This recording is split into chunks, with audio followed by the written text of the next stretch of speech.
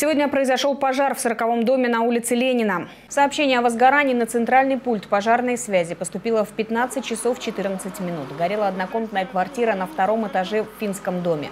Пожар удалось локализовать спустя 20 минут, через полчаса после прибытия ликвидировать. Никто не пострадал, огнем повреждена кухня. По предварительным данным, пожар произошел из-за короткого замыкания. Возгорание произошло в кухонном помещении. Предварительная причина пожара – аварийная работа электроприборов. Пострадавших нет.